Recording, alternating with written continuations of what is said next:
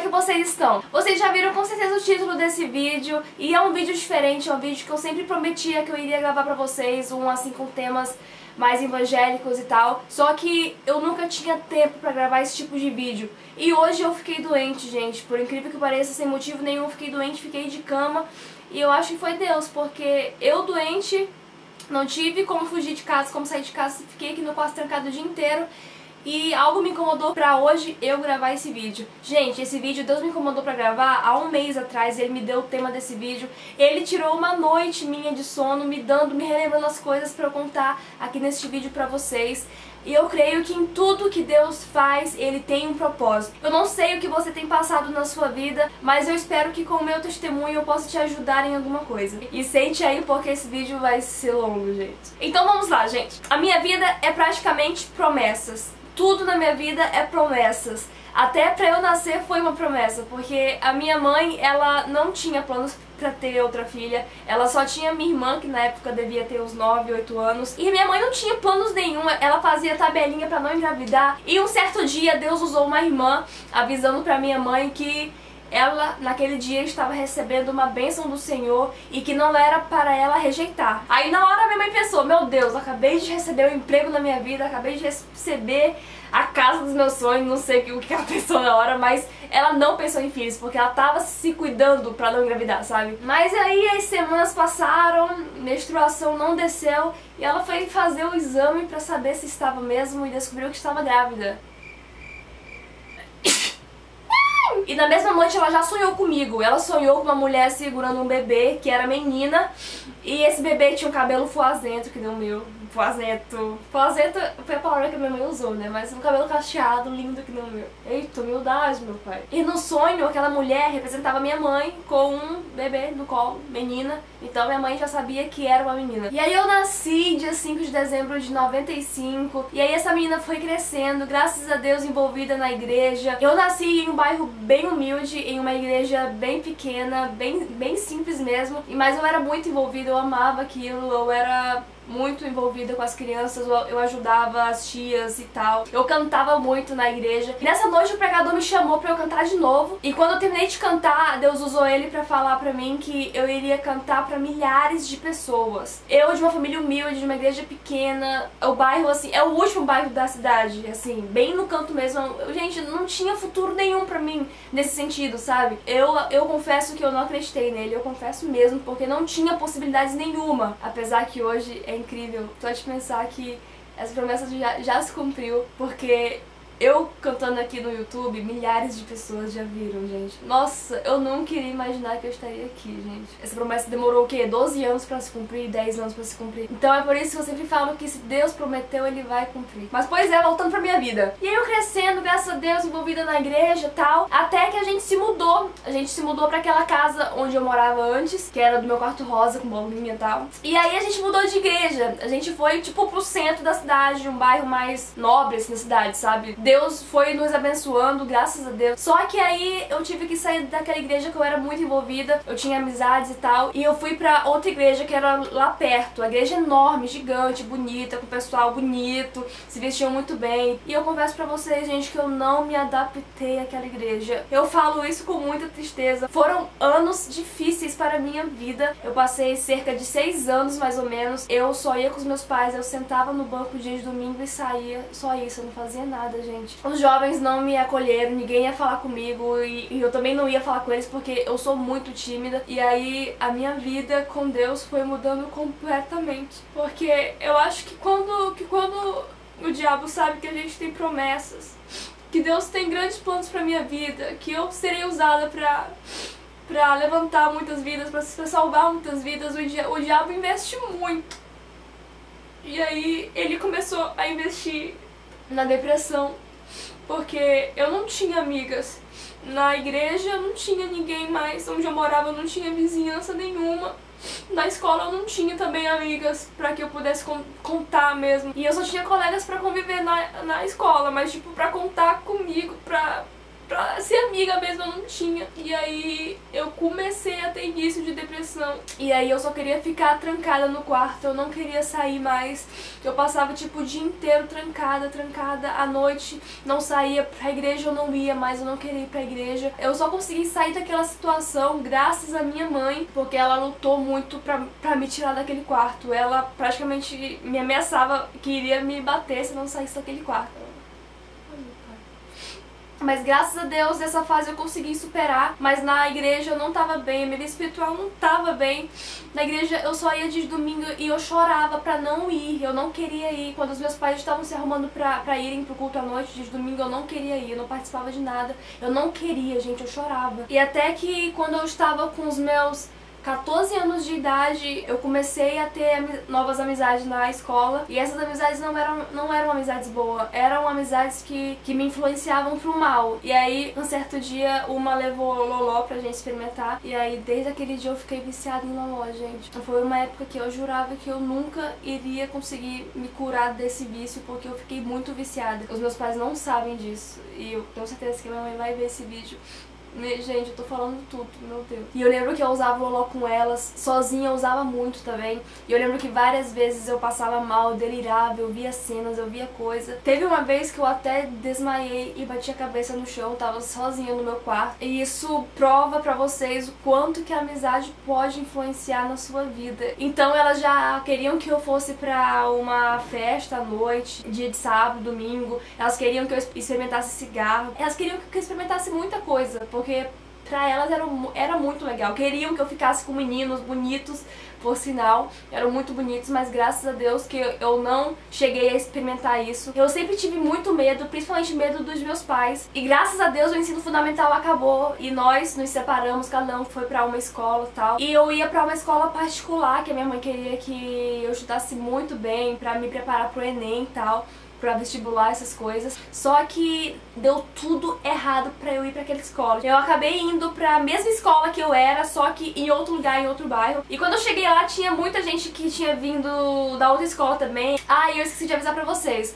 Quando eu era lá do Fundamental, eu participava de um ministério de dança que sempre dançava na escola com hinos evangélicos, tal, tal. Só que não era tão focado assim em fazer a obra de Deus. Só dançava com hinos evangélicos, orava só, não era tanta coisa assim. E com aquelas amizades eu acabei me afastando daquele grupo também, porque eu me desinteressei total. E quando eu fui pro ensino médio, aquele grupinho de dança foi pro ensino médio. E aí todo mundo ficou na mesma sala, não sei como, então eu acabei me aproximando deles porque eu já conhecia, né? Então foi mais fácil ficar com eles. E aí continuamos com, com o Ministério Sky, que era o de dança e aí a gente começou a fazer teatro e tal. Até que o Oscar, que era o líder, ai, o Oscar sempre pedia pra eu mandar um beijo pra ele, um abraço aqui no vídeo. Então, Oscar, seu peruano, tô te mandando agora, tá? Não venha me cobrar depois. Eu não deveria nem te mandar porque você esqueceu da gente, mas tudo bem. E em 2011, eu tava com 15 anos, primeiro ano do ensino médio, foi onde Deus mudou minha vida. O Oscar, ele convidou algumas pessoas desse ministério para ir para um encontro com Deus. E eu, nossa, minha mãe nunca vai deixar. Minha mãe é da Assembleia de Deus, gente. Nunca vai deixar eu ir no encontro com Deus da Quadrangular. Eu não sei como a minha mãe deixou, gente. Minha mãe deixou eu ir pro encontro com Deus. E aí, gente, quando eu fui pra lá, eu tive realmente um encontro com Deus. Foi onde Deus me mostrou que Ele tinha um chamado pra minha vida,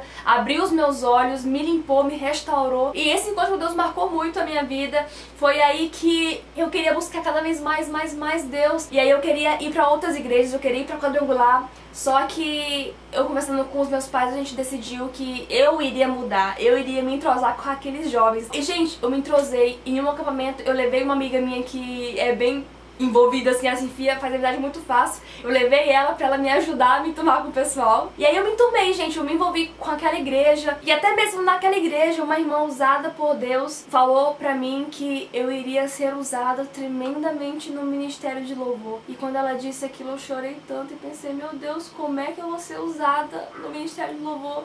Sendo que nessa igreja eu tô longe de entrar no Ministério do Louvor daqui. Eu tava com meu talento enterrado há muitos anos muitos anos. Eu não cantava muito tempo. Há tipo, há oito anos eu não cantava, gente. Não é possível, essa mulher nem me conhece, ela nunca me viu cantando. Ela, meu Deus do céu, como é que pode? E aí eu comecei a buscar Deus, eu quero muito ser usada por ti. Eu sei que eu tenho promessas, eu sei que só tem planos pra minha vida. Eu quero muito ser envolvida em uma igreja, eu quero estar firme em uma igreja, congregando, trabalhando, sendo usada no meu ministério. E até então Deus falou comigo e falou que a minha nova igreja era a congregação Jerusalém. E pra eu ir pra essa igreja, gente, eu, eu sozinha, sem os meus pais. Foram momentos difíceis da minha vida estar na, naquela igreja, porque tudo contribuiu pra eu sair de lá, sabe? Eu, meu Deus, por que, que eu tô aqui sendo que eu tô sofrendo tanto? Eu não tinha carro, eu dependia de carona dos outros porque os meus pais não me levavam. Muitos me criticavam, ninguém entendia porque eu tava lá. Enquanto isso, eu buscando, eu orando, eu orando. Às vezes dava aquele desespero, eu pensava, meu Deus, eu vou sair daqui, eu não aguento mais. Mas graças a Deus, os meus pais começaram a entender os planos que Deus tinha pra minha vida naquela igreja. Então, gente, naquela igreja eu passei um ano sem fazer nada. Eu só congregava, ia de quarta, dia de sexta, sábado, domingo, escola dominical. Eu tava participando muito porque eu tinha pessoas que estavam me ajudando. A Bárbara era uma que vocês conhecem, a minha amiga Bárbara. Tinha o Emerson também, que era quem me ajudava com carona e tal. E aí, finalmente, gente, naquela igreja me convidaram pra entrar no Ministério de Louvor. E aí eu fui aprendendo muita coisa, gente. Eu fui começando a desenvolver, começando a ficar envolvida. E graças a Deus hoje eu estou firme e forte na igreja. Graças a Deus era de segunda a segunda igreja, igreja respirando igreja. Os meus pais não entendiam. E eu tava tão firme com Deus que eu fui capaz de abrir mão de uma bolsa integral na faculdade, gente, pra não parar de congregar. Porque essa bolsa integral era à noite, era noturna. E se eu aceitasse ela, eu só ia congregar dia de domingo. E eu sabia, eu me conhecia que eu congregando só dia de domingo, eu não iria ficar bem na fé. A minha vida espiritual iria decair muito e eu sabia que o diabo tinha grandes armadilhas pra minha vida e tinha cada dia, ele ia avançando muito na minha vida, só eu sei o quanto eu sofri e eu abri mão de uma bolsa integral, gente. Mas eu decidi que era aquilo que eu queria mesmo. Mas claro, tudo na nossa vida Deus tem um propósito, tá tudo preparado, porque logo em seguida eu ganhei uma meia bolsa, mas eu vejo o cuidado de Deus com a minha vida. Eu não, não sei explicar, sendo que eu sou tão falha, sou tão pecadora, mas Deus tem o cuidado de preparar tudo, de me falar tudo. E ele usou uma irmã falando que Deus iria me usar muito, que o diabo tinha muitas bandejas para me oferecer, mas que Deus Deus tinha uma mesa preparada para mim. E eu sempre ficava me perguntando, Deus, o que que só tem preparado para mim? Porque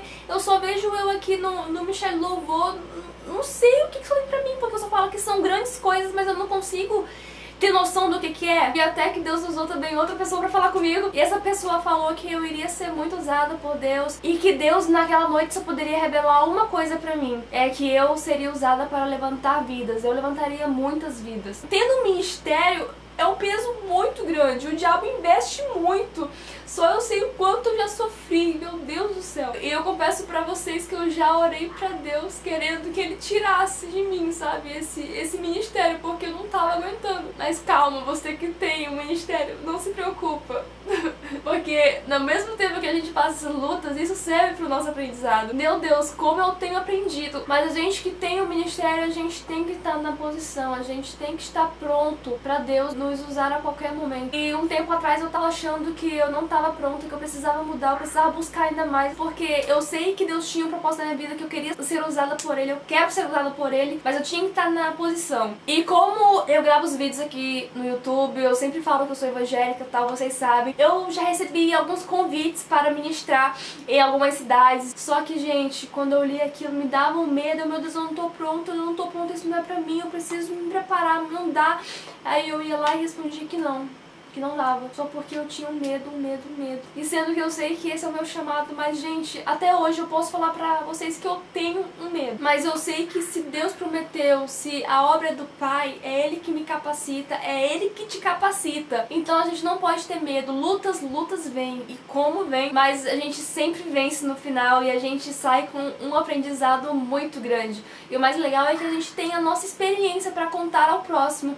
Sempre quando eu recebo algum e-mail de vocês contando alguma história, contando alguma coisa que está acontecendo com vocês e eu já vivi aquilo, eu fico muito feliz em poder ajudar porque daquele assunto eu entendo porque eu já vivi, sabe? E é essa, a Daisy Souza, essa serva de Deus, com 19 anos que tem grandes promessas, um grande chamado, um grande ministério e que está se preparando para isso. Mesmo que isso seja um desafio, as lutas que eu já passei para chegar até aqui não foi fácil e eu não quero desistir, eu não quero retroceder. E que hoje está buscando uma intimidade muito maior com Deus, mais do que eu já tenho, que está buscando cada vez mais aprender ainda mais a palavra, para quando chegar um desafio eu topar sem medo nenhum, porque eu sei que Deus está comigo. Então é isso, gente, foi esse o meu mini resumo sobre um pouco da minha vida com Deus até hoje. Deus tem um propósito com esse vídeo. Ele me deu esse vídeo com algum propósito, eu não sei o que você tá passando. Então, que Deus possa te capacitar, te abençoar, que você venha se aproximar cada vez mais de Deus, ter uma intimidade com Ele. E você que está distante da casa do Senhor, que está distante da presença do Pai, venha se aproximar o quanto antes, não perca tempo, viu? E se você quer ver alguns temas específicos aqui no canal, deixa aqui nos comentários o que você quer ver. Um beijo, fiquem com Deus e até o nosso próximo vídeo. Tchau!